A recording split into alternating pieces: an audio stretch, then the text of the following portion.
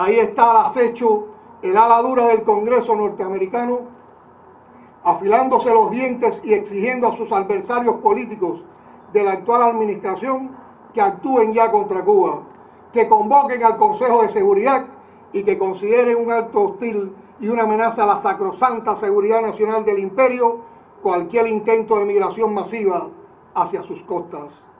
Nada de esto es nuevo. Lo han intentado otras veces. Es su manera de poner a la administración adversaria contra las cuerdas y tratar de hacerles cumplir a ellos el propósito jamás logrado de borrar del mapa el mal ejemplo de esta pequeña isla empeñada en mantenerse soberana e independiente cuando tantos se pliegan a sus órdenes. Nacimos para vencer y no para ser vencidos.